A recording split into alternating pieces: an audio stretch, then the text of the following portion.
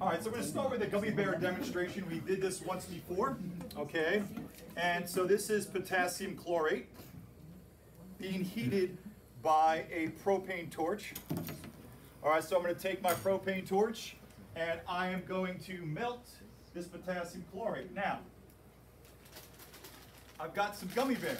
They're made of sugar. They're going to react here. So the first step is that I'm going to melt this solid. All right? Now, this solid is left here. I know there's some extra here. So this is melting, and it's hard to see the melting here, but we'll do the best we can. Is this an endothermic or exothermic change? Exo. Exo. It is definitely not exo. Is heat being released in this phase change, or is it being absorbed? Absorb. Aren't I applying heat to this? You should Yeah. eat it. So therefore, the heat is being released by this chemical reaction. Is this chemical reaction exothermic or endothermic? Exo. Yes, by the way, if you're not sure, X, exothermic exiting. Heat is being clearly exiting by this torch here. Okay? And heat is being transferred from the hot torch to this test tube. Okay? So I need to melt this solid, and it's starting to melt and bubble here. Now this solid is starting to melt. The melting of all solids is endo or exo to go from a solid to a liquid. Endo. Endo. So think about this. This chemical reaction, which is propane reacting with oxygen, is giving off heat. The heat given off is being absorbed by this solid here. So I'm taking what we call chemical energy and I'm converting it into thermal energy and now potential because I'm making a what? A liquid. All right? So I'm basically heating this solid and is you see a liquid on your side or no? Yep. No. I don't know what you see yet. Not yet. Okay. Honestly, looks like a test tube. And it's hard to see because it's a little a little cloudy. It's got the sugar on it. We may see some remnants of the other reaction. But clearly this wasn't melted until I added heat. The absorption of heat is endothermic. Okay, once I have this melted, you guys see melting on your side or no? Nope. How about now? Nope. Well, I see it on my side, but again, it's hard to see. Smoking at the top. There's definitely some smoke coming off the top, so you can definitely see that there's some heat being given off. Okay. Now I need someone to open these up for me. I can do it. Grady, come up here for a second. Grady, you're in this class.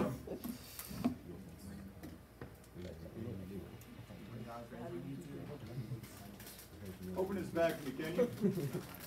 Put the slide you on. All right, thank you, sir. And Grady didn't even take a gummy bear. Yeah, I definitely can I? gonna take one. No.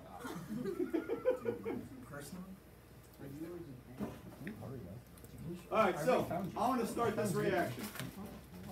I'm going to take a gummy bear, which is made of sugar, and I'm going to drop it into what I think is this melted liquid. And I don't know if it's melted or not, but I think it is. All right, see what happens.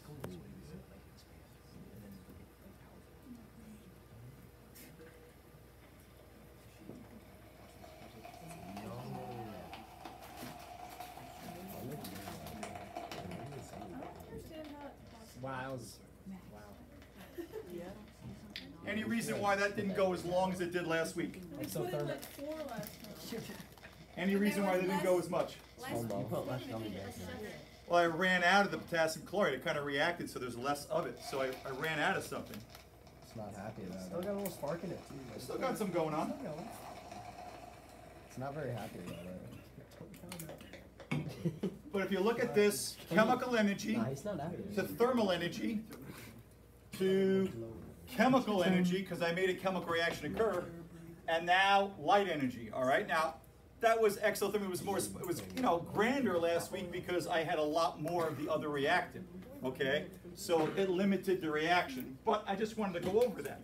Okay, so back to this reaction here, okay?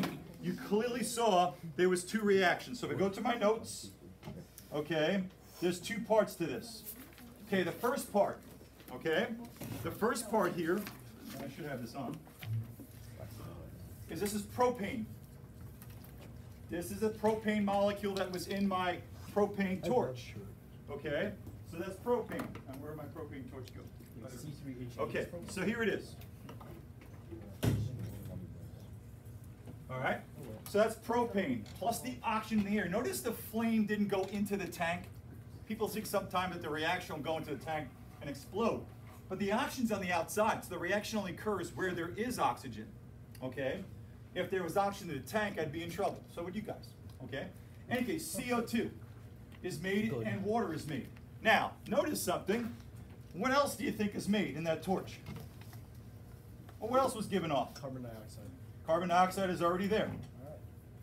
What else was given off? Heat. That's right. Write the heat. Now you could also write energy. You could also write energy. And as we learned last week, you could also write some number of joules of energy. Energy is measured in joules. So I could have some number, like I could have 2219 kilojoules. Kilojoules means a lot of joules. All right, so, so a number could go there, the word heat or energy. But very important, because I took propane that was in the tank, gave it some activation energy, and reacted to the O2 out of the tank, it produced CO2 and water vapor, which you don't see, they're colorless, but it clearly gave off heat, right? It gave off heat right there. There's the heat it gave off. Okay? Now, this is called a potential energy diagram. We'll do more with these later in the year, but these are going to help us now. This is not temperature. In a heating and cooling curve, we measure the kinetic energy changes by the help of a thermometer. Okay, a thermometer doesn't measure potential energy, it measures motion energy. So this is a little bit different, but potential energy is the measure of energy stored in chemical bonds.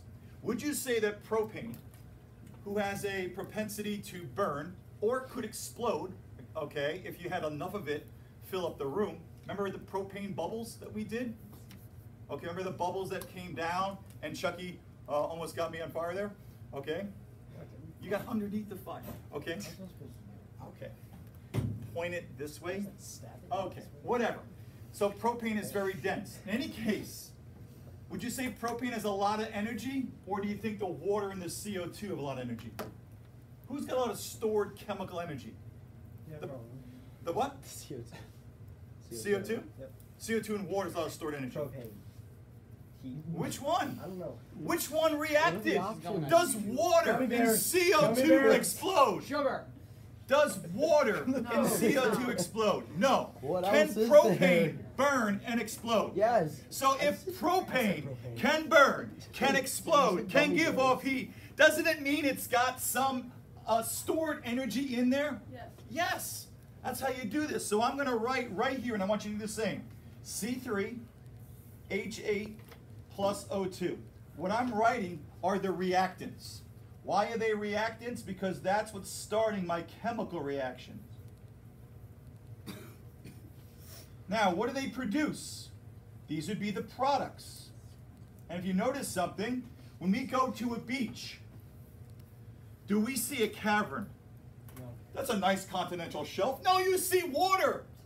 Water, yes, it can evaporate, but it doesn't explode. It doesn't uh, react and disappear. Water stays around for good reason. It's needed for life, photosynthesis.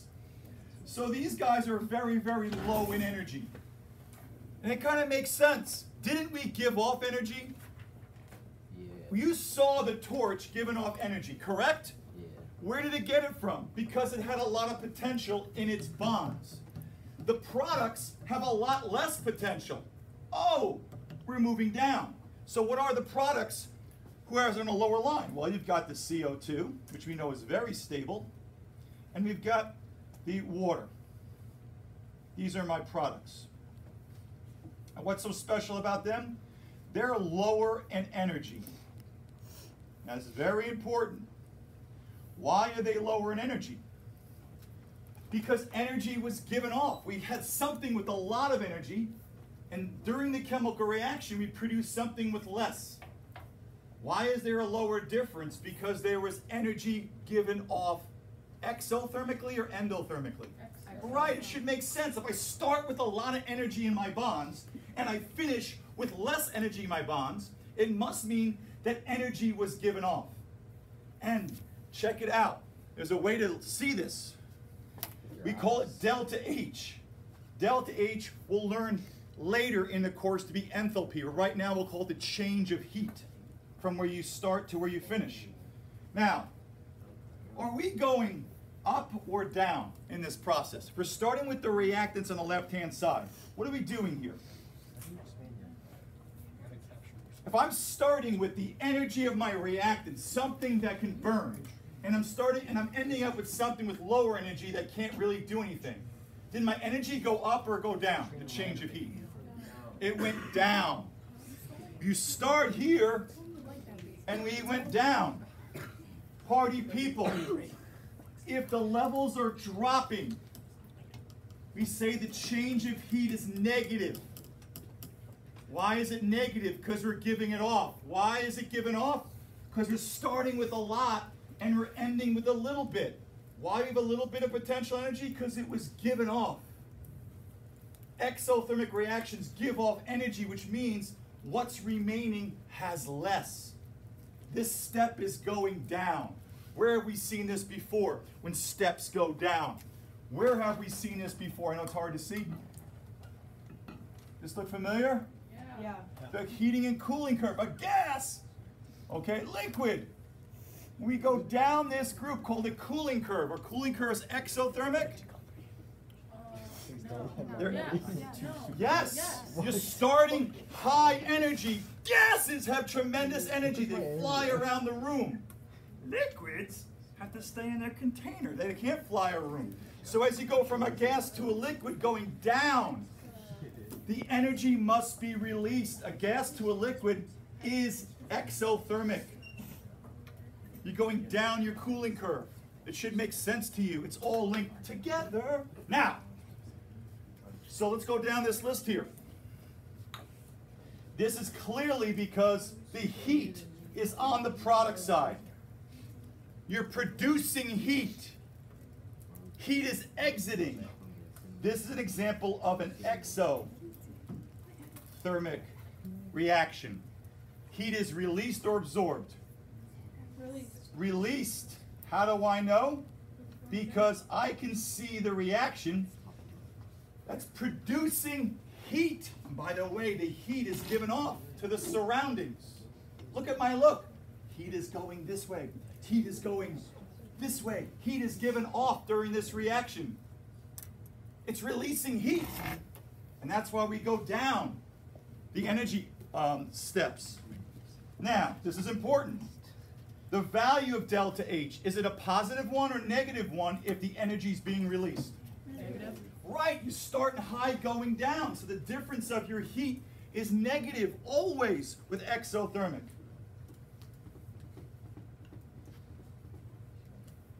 Okay, this is new, but you can handle this. If I have an exothermic reaction from my propane torch, do you think it makes the surroundings warm or cold or no change at all? Yes. If I release heat, the surroundings do what? Absorb it and get warmer. You may say, Mr. Grodski, then, doesn't this get colder if it loses heat? Uh-uh. It's potential energy. Potential energy isn't tied to temperature. Energy is given off by breaking these bonds, these high energy bonds that hydrocarbons have. So my friends, exothermic always have an increase in energy.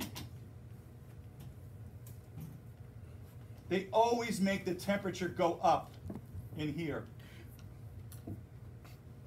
People get confused. Wait a minute, if the reaction is giving off energy, The air is absorbing it. I'm confused. As chemistry, as chemists, who do you think the frame of reference always is? The chemicals.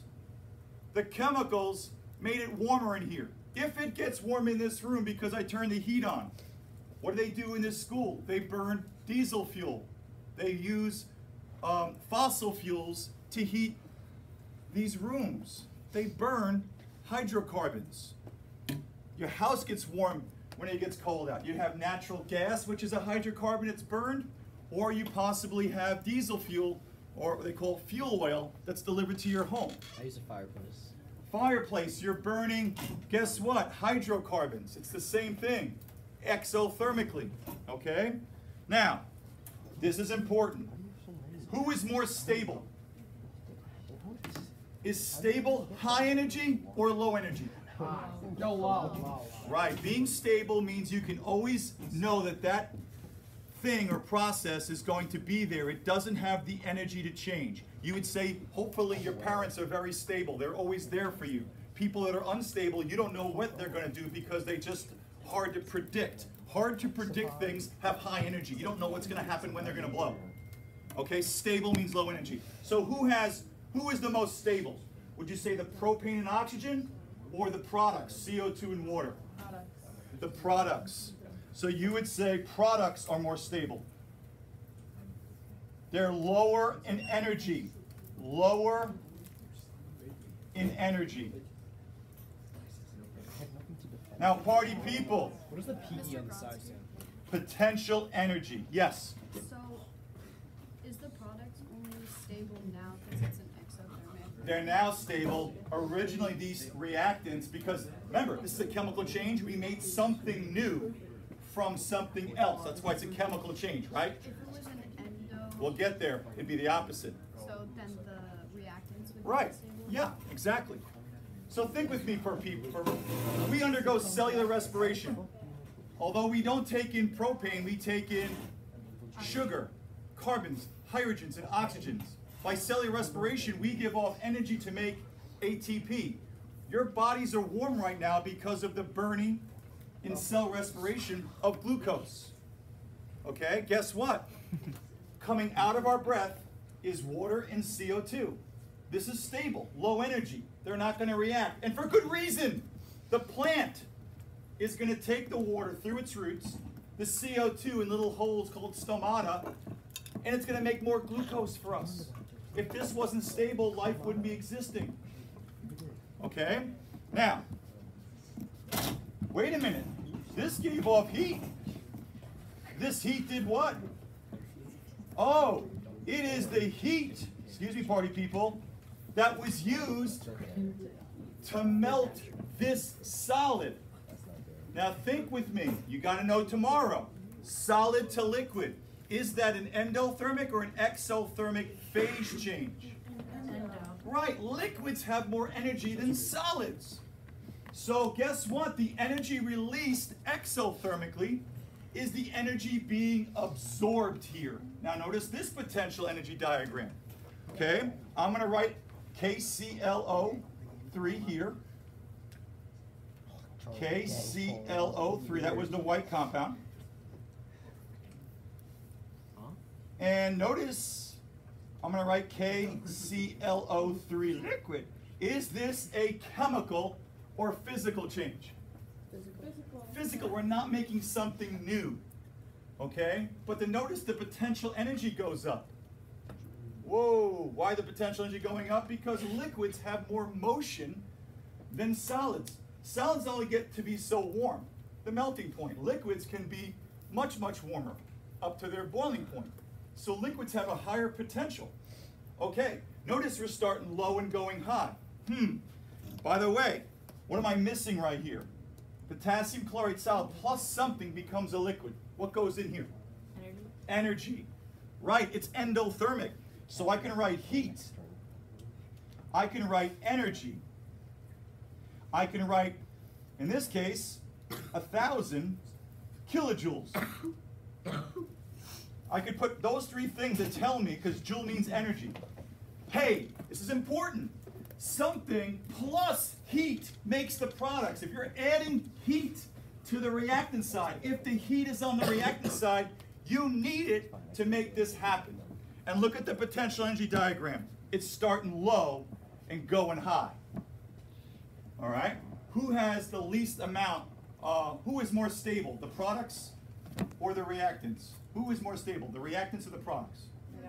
The reactants are stable. They're low energy. To get them to a higher potential, you're going to need energy to climb this ladder. Right? So this is endothermic. So we write it. Endo. And heat is being absorbed or released? Absorbed. Okay?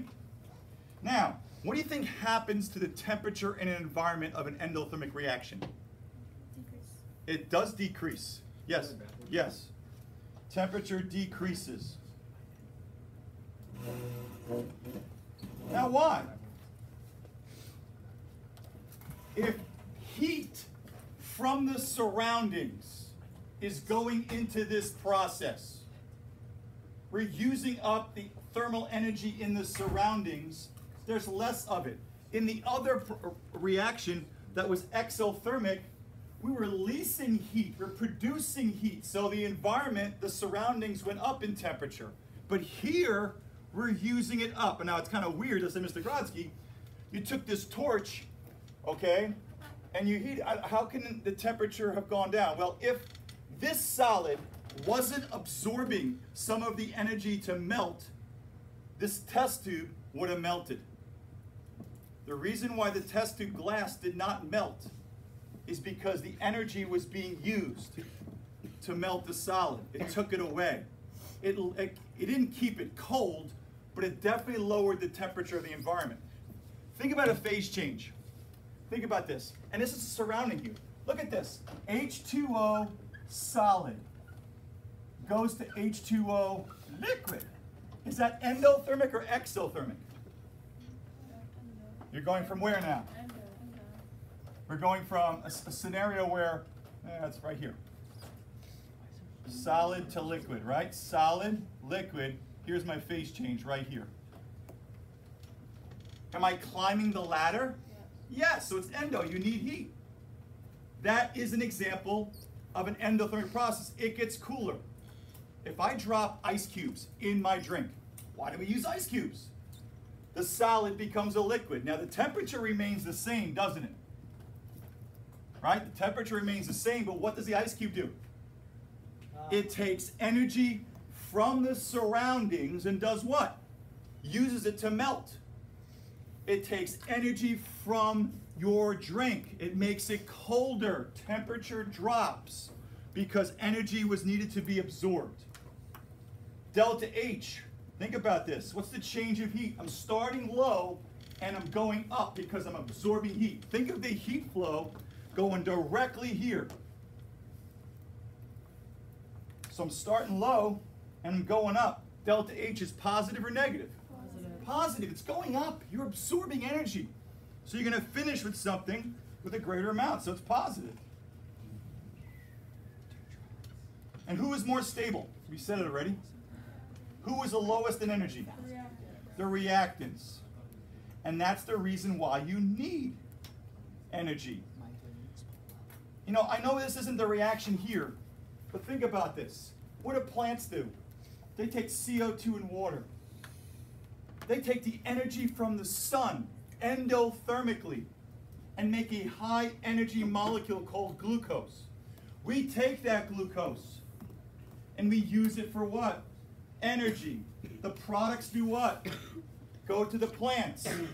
The energy from the sun makes these low energy products become higher energy products. We take that product, glucose, and we use it. That's the formation or the energy flow of life that all comes from the sun. Okay? All right.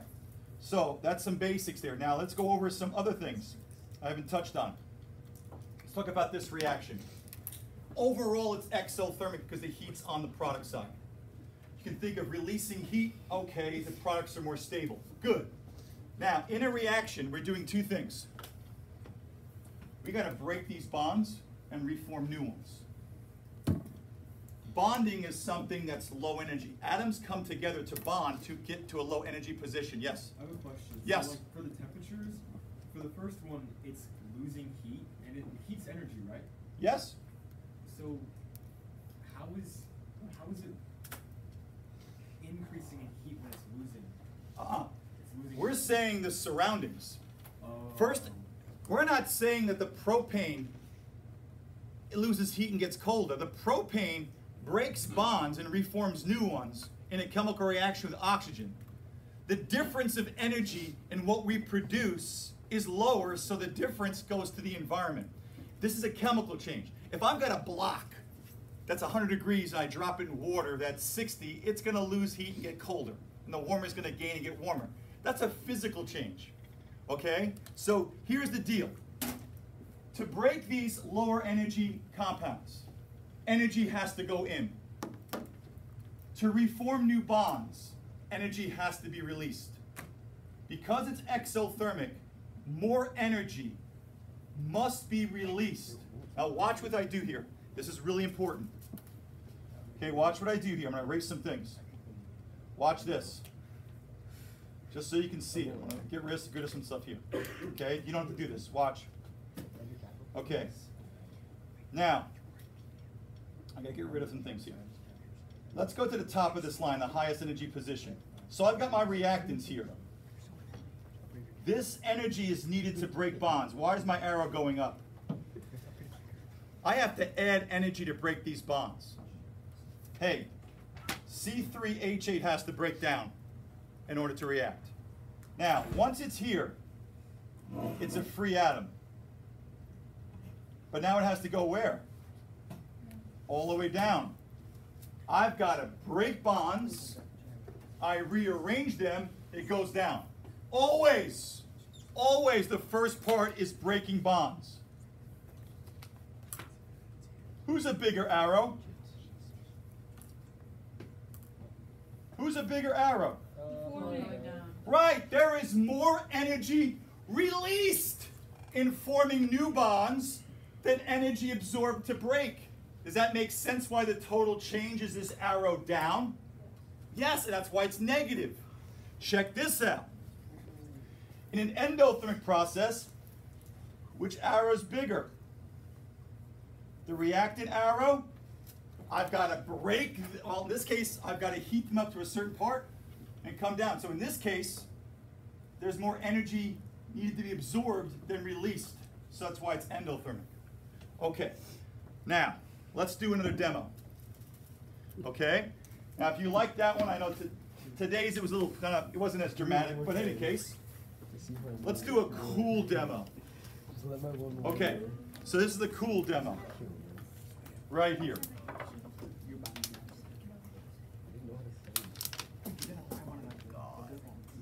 Who's getting religious on me? I heard God.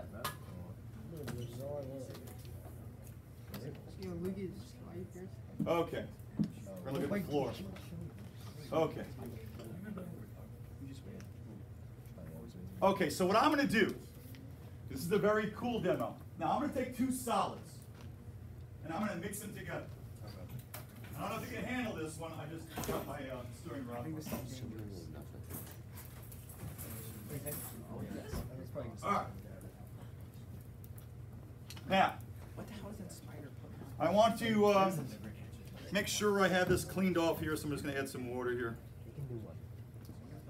Okay. All right, uh, so I'm gonna take this, one of these white compounds, and I'm gonna put that here.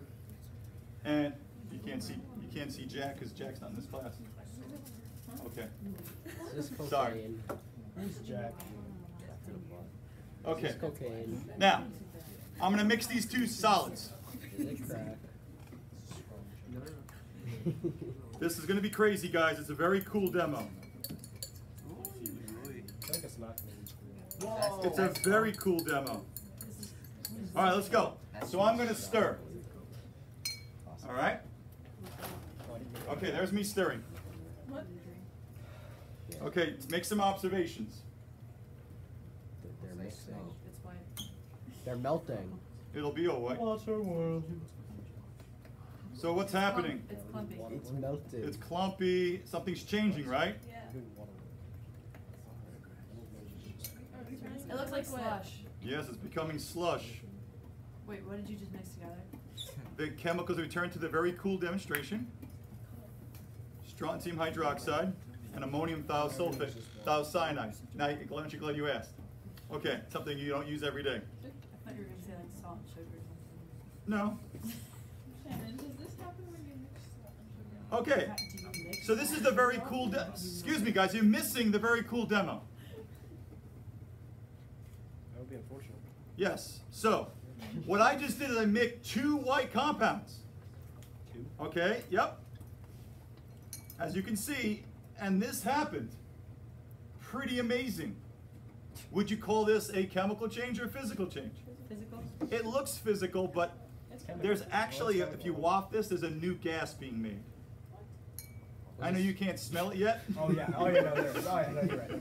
You're right. You never smell What if you look at the chemical reaction given to you? Oh. Oh yeah, I can see that smell.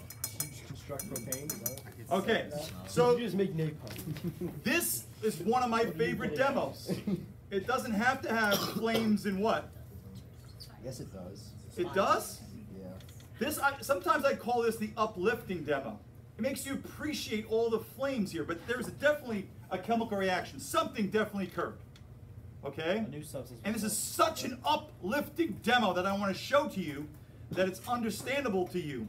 So if we take a closer look, okay, well, again, I can't say how cool this is, all right? I can't say how cool this is, but I'll do my best to show you that energy was transferred in this process. The question is, where was it transferred to and from? One, two, and Did you see any flames? No. No, you can't measure the temperature of the room, so you don't know. Oh,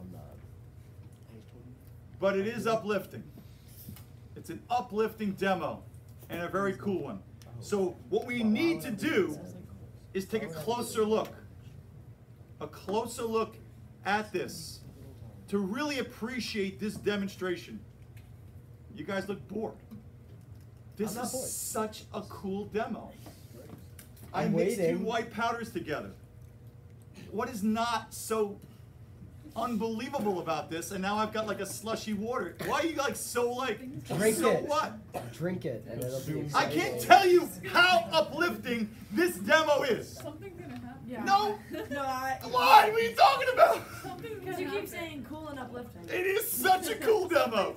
It's so cool that it is uplifting. Lay it on Okay? You just gotta you gotta wait for it. Yeah. Oh, we have to wait. Just starting. Oh no. I don't like it. Sound Now if I'm leaving, that's usually an indication it's sprinting. Hold on. It's crazy. I'm scared. This is such a crazy. Drink it. Okay. We're gonna see here. We need to look at this closely. Hold on.